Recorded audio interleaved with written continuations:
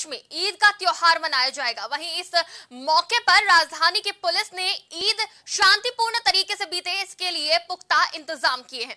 इसी दौरान prime TV से लखनऊ के पुलिस कमिश्नर डीके ठाकुर ने खास बातचीत की है। आइए आपको सुनाते हैं क्या कहा उन्होंने।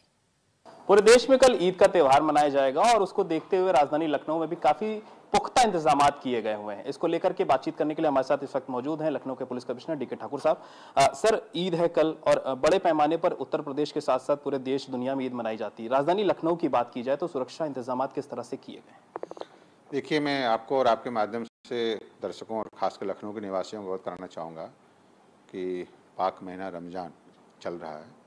और उसकी आखिरी तारीख कल होगी जब ईद मनाया जाएगा। और इस रमज़ान के दौरान पूरे लखनऊ में अमन शांति का माहौल कायम रहा। इस बीच हमारे दो जुलूस निकले, उन्नीसवीं जुलूस और इक्कीसवीं जुलूस, जो कि क्रमशः इक्कीस अप्रैल और तेईस अप्रैल को पड़े। काफ़ी संख्या में भीड़ आई तादाद आई और काफ़ी शांतिपूर्ण रहा। अभी उनतीस तारीख को आपने देखा होगा, अलविदा का नमाज़ भी काफ़ी शांतिपूर्ण संपन्न हुआ। इसी क्रम में कल ईद के नमाज़ अदा किए जाएँगे। हम लोगों ने सारी व्यवस्था कर रखी है। हम लोग जितने धर्मगुरु हैं दोनों संप्रदाय के शिया सुन्नी उनसे बात कर रखी है हिंदू धर्मगुरुओं से बात की है। हम लोगों ने मीटिंग्स की है हम लोग कहाँ कहाँ फोर्स का डिप्लॉयमेंट होना वो तय किया है। हम लोगों ने अपने फोर्स को ब्रीफ किया है जहाँ जहाँ एक्स्ट्रा फोर्स चाहिए वहाँ लगाया है ड्रोन लगाए जाएँगे।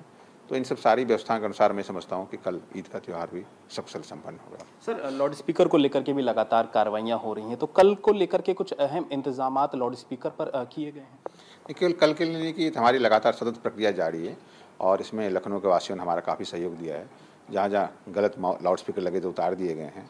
जहाँ जहाँ लाउड स्पीकर लगे हुए थे, उनकी आवाज़ ज़्यादा थी, उनको आवाज़ कम कर दी गई है। शासन, प्रशासन का यही निर्देश है कि आप यदि लाउड स्पीकर कहीं लगाए हुए हैं तो उसकी आवाज़ केवल आपके परिसर के अंदर ही रहे, परिसर से बाहर ना जाए।